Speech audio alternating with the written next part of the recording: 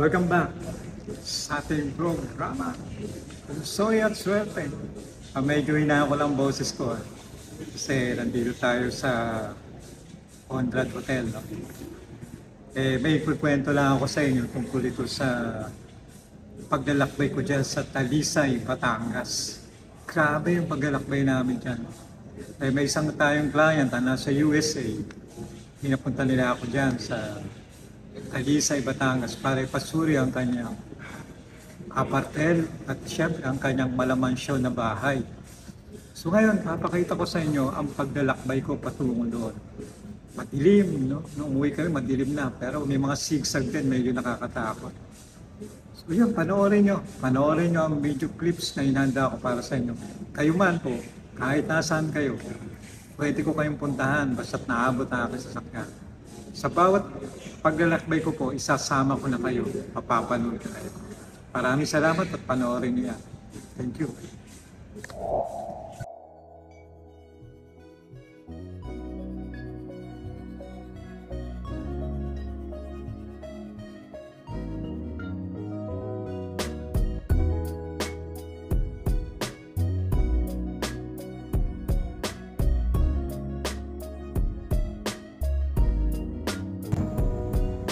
Going to South Batangas.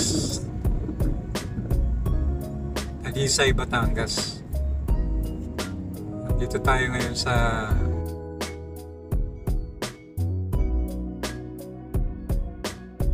Nasa Laguna na kami.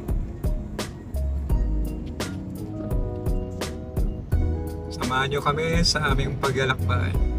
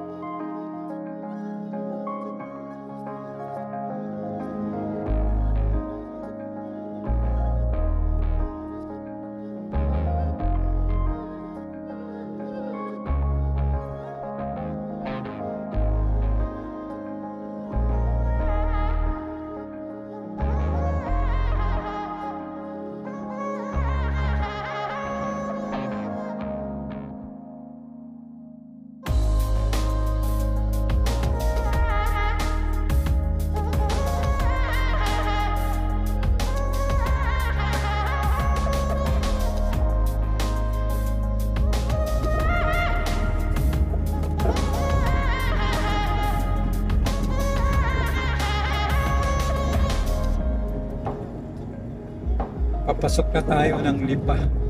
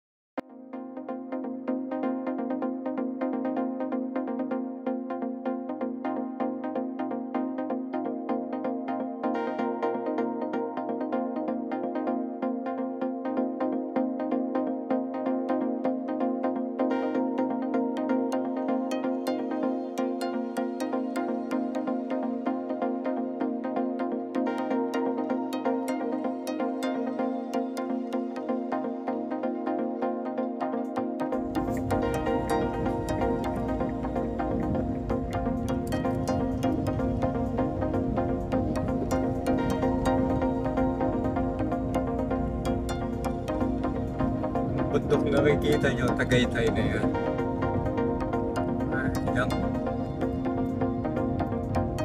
Ah, 30 minutes so 1 hour Tagaytay. 30 minutes na lang. Mga 30 minutes at Tagaytay na. Pero hindi naman dyan ang punta namin.